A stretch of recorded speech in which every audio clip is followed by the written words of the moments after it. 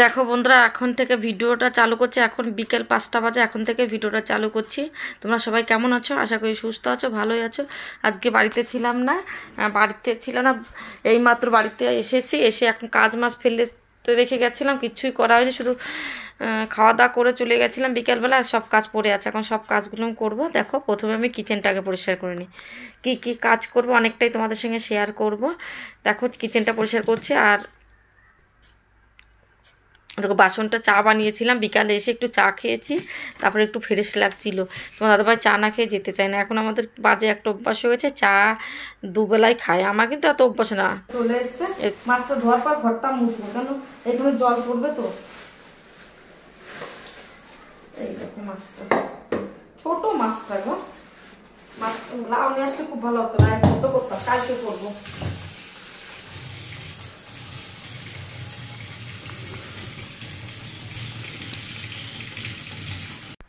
দেখো মাছ কটা ধুয়ে নিয়ে তোমার দাদাভাই এক কিলো মাছ নিয়ে এসছে। আজকে মাছটা একটু খারাপ খারাপ লাগছে। কোনো ব্যাপার না, মাছটা আজকে ভেজে রেখে দেবো। তোমার দাদাভাই বলেছে তুমি মাছটা ভেজে রাখবে, খেতে ভালো লাগে। ফ্রিজে কাঁচা মাছটা, দেখো, আমাদের এখানে তো তাজা মাছ আসে না। কোথার থেকে কোথার থেকে আসে? এখানের মানুষ এইখানে সবাই মাছ খেতে ভালোবাসে না। ওই জন্য বলে কি, তুমি একটু ভেজে রেখো, খেতে ভালো লাগবে। ফ্রিজেই রেখে দিও। এই মাছটা আবার রেখে দেবে, আবার বরফে যে বরফের জল দিয়ে আবার গলাবে, সেই মাছটা খেতে একদম স্বাদ লাগে না। তাই ভাবছি এখন এক কিলো মাছই ভালো করে ধুয়ে টুয়ে নিয়ে তারপরে ভেজে রেখে দেবো। তার জন্য তো প্রথম ধুতে হবে। ওকে ভালো করে ধুয়ে নিচ্ছি আর আজ অনেকটা কাজ আমার কমে গেছে। এখানটায় দাঁড়িয়ে দাঁড়িয়ে সব কিছু করে নিই। কিন্তু আমার পায়ে আবার ব্যথা করে। বলে না, বসে করলে আগে মাজা, কোমর ফেটে যেত, এখন দাঁড়িয়ে করলে পায়ে ব্যথা করে। আমি কি করে সংসারে কাজ করব, কি করব, একদম মাথার কাজ করছে না। আমি এত কাজ করতাম, এত পয় পরিষ্কার থাকতাম, আমি এত নোংরা হয়ে যাচ্ছে, কি বলব? কাজ করতে একদম ইচ্ছা করে না, আর পা, এই পায়ে ব্যথা, এ ব্যথা, ও ব্যথা করেই থাকে। কবে যে আমার পায়ে ব্যথা যাবে, আর তোমাদের শুনতে শুনতে আমার মনে হচ্ছে কানটা পচেই গেল। চলো একটা একটা ঘটনা বলি। দেখো, আজকে সকালবেলা তোমাদের দাদাভাই জিমে গেছে, আমাদের দোকানের সামনে সবাই গাড়ি রেখেছে। গাড়ি রেখলে তোমাদের দাদাভাই প্রতিদিন সবাইকে মানা করে। যে গাড়ি রেখো না, আমার তো লোকজন দোকানে আসবে, তারা গাড়ি রাখবে, আমার গাড়িটা রাখব কোথায়? একজনটা বলেছে, সে বলছে ঠিক আছে সরিয়ে দাও। আর একজন রাস্তাতে যাচ্ছে সে বলছে যে না সরাবে না এইখানে রেখে দাও যে যা করবে যে যা পারবে করবে এইখান থেকে গাড়ি সরাবে না। অনেকটা বলে আমি তো বাড়িতে ছিলাম তোমার দাদাভাই তো ছিল দোকানে অনেকটা কটা কাটাকাটি হয়েছে তারপরে পাশের দোকানওয়ালা বলছে যে কেন? উম, এইখানে রাখবে কেন? তার দোকানটায় লোকজন আসবে না আসে গাড়ি রাখবে না তোমাদের গাড়ি রাখার জন্য নাকি পার্কিংয়ের জায়গায় তো আলাদা আসে। তখন সব লোক চলে গেছে। সত্যি আর এত দোকানে এত লোক ছিল কেউ একটা লোক এসে বলল না আমি ঠিক আছে আমার তোমার দাদাভাই যদি ভুল করতো বলতো। আর ভুল না করে বলবে কেন? সবাই এসে এক জায়গা থেকে বলতে পারতো না যে এই তোমরা কেন এরকম করছ, চিল্লাচিল্লি করছ কোনো? কেউ ঘরে মানে তোমার যদি দোকান একটা করো, দোকানের সামনে গাড়ি রাখলে অন্য লোক কী করে আসবে? তুমিই বলো, সেটা কেউ বলিনি। আর আমি তোমার দাদাভাইকে একদম সাফ আজকে বলেছি, কোনো গুজরাটিদের, প্যাটেলদের খেতে ডাকবে না। ওরা খেয়ে যাবে খাস মা বলবে, ঠিক আছে ঠিক আছে, আর ঝগড়া হচ্ছে। তাহলে এসে তো বলতে পারে চুপ করো তোমরা এক, তো তারা তামাশা দেখছে, দেখে দেখে। আমি বলছি, একদম যারা আমাদের বাড়িতে খেয়ে গেছে, তাদের আজকে আমি বলে দিচ্ছি যে একদম বাজে তোমরা তোমরা একদম মানসিকতা নাই, তোমরা তো আমাদের সাপোর্ট নিতে হতো না। একটা মানুষ কোনো কটা কথা কাটাকাটি হলে পাঁচজন এসে তো বলবে, "এই চুপ করো, যা আবার হয়ে গেছে। হ্যান ত্যান তা না, তারা মজা নিচ্ছে, দেখছে। খাওয়ার সময় ঠিক চলে আসবে কুত্তার মতো। আজকে খাইয়ে বলতে নাই, খুঁটা দিতে। আজকে আমি এত মাথা গরম হয়েছে। আমার কথা হলো, আমার পক্ষ নিতে, আমার বাড়ি খেয়েছো বলে আমার পক্ষ না। যেটা সঠিক সেটা বলতে তো কোনো বাধা নেই। চলো, আমরাই ভুল, আমি মেনে নিতে পারছি। তাহলে এসে তো বলবে, চুপ করো হ্যান ত্যান পাশের দোকানদার এসে বলেছে সেই দোকানের থেকে আমরা এত মাল নিয়েছি, দু লাখ টাকার মাল নিয়েছি ঘর করার সময়। সে তো বলতে পারতো যে, এই চুপ করে, সবাই এসে বলবে না? যখন ঝগড়া, একটা লোক এসে ওদের বলেছে, এটা নিয়ম না পার্কিংয়ের জায়গা আছে, তোমরা এখানে রাখতে পারো না গাড়ি। আর সবাই ভয় তো টুকটুক করে চলে গেছে। তাহলে এই কথাটা সবাই এসে বললে আরও আগে আগে ভালো হতো না? তাহলে সবার দোকানের সামনে, আমাদের দোকানের সামনে আজকে রেখেছে, কালকে তোমার দোকানের সামনে রাখবে? যদি সবাই একজোট হয়ে বলতো, না, রাখ, রাখা যাবে না, রাখ। তা, তাহলে ভালো হতো না ব্যাপারটা? অনেকটা সুবিধা হতো। না, তাই তাই একটা দোকানদার এসে ওদের বলেছে, যেই বলেছে সেই দৌড়িয়েছে, সব গাড়ি টাড়ি সরিয়ে দিয়েছে। পার্কিংয়ের জায়গা আছে। কেউ পার্কিংয়ের যদি জায়গা না থাকতো অবশ্যই রাখতে পারতো। পার্কিংয়ের জায়গা আছে, তারা পার্কিংয়ের জায়গা একটু সাইডে না রেখে দোকানের সামনে রাখবে। এটা একদম ভুল। তার জন্য তোমার দাদাভাই সকালে তাড়াতাড়ি জিম থেকে এসে আমাকে বলছে, আজকে ঝগড়া করে আসলাম। তুমি কেন গো? বলে, এই ব্যাপার আমি যে ঠিক করেছে, আমাকে ডাকতে পারলাম না। আর সেই, সে তাকে কিছু বলেনি। তোমার দাদা ভাই যাকে বলছে, সে বলছে, ঠিক আছে। আমি সরিয়ে রেখে দেবো। আর আর একজন রাস্তাতে যাচ্ছে, সে বলছে, রাখো, আমি আছি। কিচ্ছু হবে না। আমি বলছি, রাখো, যে যা করবে, করে নে। বলো, রাস্তাতে তুমি যাচ্ছ, তুমি নিশ্চয়ই বলতে পারো তুমি এসে বলতে পারো, ঠিক আছে, রেখো না। দেখো ওনারও তো দোকান, তারও কিন্তু দুটো, তিনটে দোকান আছে সাইডে। এরকম করলে তার কেমন লাগবে বলো? সেও বলতে পারে, ঠিক আছে, দোকানের সামনে রাখো না। সে একটা ব্যবসা করে খাচ্ছে, সাইডে রেখে দিয়ে যখন সে থাকবে না, তখন রেখো। কথাটা হয়ে যায়। সে এসে গরম দিচ্ছে, দাদাগিরি করছে।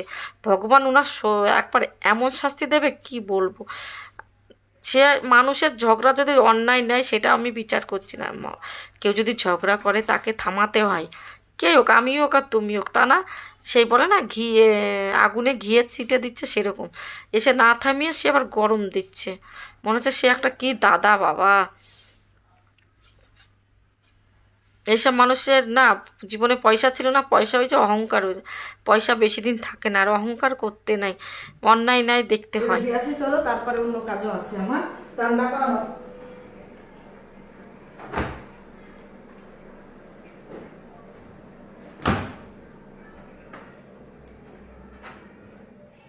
রসুন চলে যাচ্ছে দেখ মনি মিশির মধ্যে রসুন ছিল জানি না।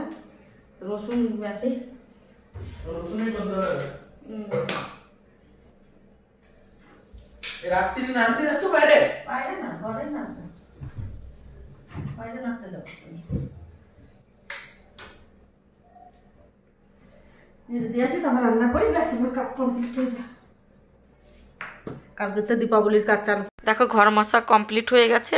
এখন আমি জামা কাপড়গুলো নেড়ে দেবো। কেচে দিয়েছি। বলছে না, এসে রেস্ট নিয়েছি যে যাওয়ার পরে। তারপরে রেস্ট নিলে আর আমি না কোথাওতে আসলে তুরান যদি কাজ করি ঠিক আছে, সঙ্গে সঙ্গে নাই, একবার যদি শুয়ে পড়ে শরীরে একবার ছেড়ে দেয়। রোদ্দুর, গরম কি? খুব কষ্ট হয়েছে। ওই জন্য দেখো, এখন আমি সব কাজ সেরে নিচ্ছি। আর গরমও পড়ছে। ঠান্ডার সময় যদি এত গরম দেয়, ঠান্ডা দিচ্ছেই না। এখন যে শীতকাল, সেটাকে বুঝতেই পারবে না। মনে হচ্ছে এইটা চৈত্র বৈশাখ মাসে গরমকাল। এসে গেছে। এত কষ্ট হচ্ছিল জানো না তাই। আর আমাদের কিচেনে ই পাংখাও নাই, জানলা, দরজা কিছুই নাই, যা জানলা নাই। এত গরম হয় ঘরটা, কি বলব? আর যেটা জামাটা পড়ে গেছে না, একবারে কেচেই দিলাম। খুব গরম লাগছিল, তা কিছু করার নাই। তাও তো আমি নাইটি পরে বেঁচে যাই। আমি ড্রেস পরেছিলাম ড্রেসটা খুলে নিয়েছি গো। ড্রেস পরে আর থাকতেই পারছিলাম না। এত গরম করছিল। রোদ্রুতে গেছি না, একটা গরম, তারপরে আজকে আর বিকাল হলেই কি গরম পরে তোমাদের কি বলব, কাদের কাদের ওইখানে গরম পড়ছে বলো তো? বিকাল হলে একটা ভাবসা গরম আসছে, মনে হচ্ছে কি ক- কি বলব? অ্যাটাক আসবে এরকম মানুষের। দুমটকা গরম, একটু হাওয়া বাতাস, কিচ্ছু দিচ্ছে না। আমার খুব কষ্ট হচ্ছে গো। তোমার দাদাভাই বলছে কালকে তোমার দাদাভাই বলছে আমি যদি কোনোদিন টাকা পয়সার মালিক হই রান্নাঘরটা খুব বড় করে দেবো আর তোমার এসি লাগিয়ে দেবো রান্নাঘরটা অন্য জায়গায় যদি বাড়ি করি। ভগবান ওর জন্য আশাটা পূরণ করে। খুব আমার খেয়াল করে। আসলাম রান্না করতে তবে একটা আলুতে একটু মাছের করব। রাতের খাবারটা তো ওই জন্য। বেশি একটা কিছু করতে যাব না। এখন রাতের খাবারের জন্য একটু আলুটা কেটে নিয়ে আর একটু আদা বাটা দিয়ে রান্না করব। প্রচণ্ড গরম লাগছে কি বলব তোমাদের? প্রচণ্ড আকারে গরম লাগছে। ঘেমে জল হয়ে গেছে। এখন দেখো, একটা আলুতে আমি কিন্তু ভয়েস এখানে দিয়েছিলাম। আর এত ভয়েস দিলে ভিডিওটা এত বড় হয়ে যাবে, তোমরা দেখবেই না। এমনি তো তোমরা খুব ভিডিও দেখো, আমার এত ভিউজ হয়, কি বলব? আলুটা কেটে নিয়ে একটা আলু দিয়ে মাছের ঝোল করে নেব। রাতের খাবারটা হালকা আদা বাটা, জিরে বাটা দিয়ে করে নেব। এই টমেটো টমেটো দিয়ে, আর কিছু করব না এখন। তোমার দাদাভাই মাছ আনতে বলেছি চিকেন টিকেন আনলে না প্রচুর গরম হচ্ছে চিকেন খেলে, আর চিকেন খেতে ইচ্ছাই করছে না। দিয়ে দিয়েছি, তেলটা গরম হয়ে যাক। এরা মাছের হলুদ লবণ মাখিয়ে নিই হলুদ লবণ মাখিয়ে নিই বলো। প্রচণ্ড হারে গরম পড়ছে, আমি পাচ্ছি না গরম। কিন্তু রান্নাটা করতে হবে, মাছটা সব ভেজে রাখি। মাছটা কেমন ভালো লাগছে না দেখতে, ওই জন্য ভেজে রাখলে না একটু ভালো লাগবে পরে। না, এই মাছ যদি আবার ফ্রিজে রেখে দিই না না ভেজে একদম খাওয়া যাবে না, কি বলব? তখন সে বেদা মাছের মতো যখন বরফটা ইয়ে হয়ে যাবে তখন।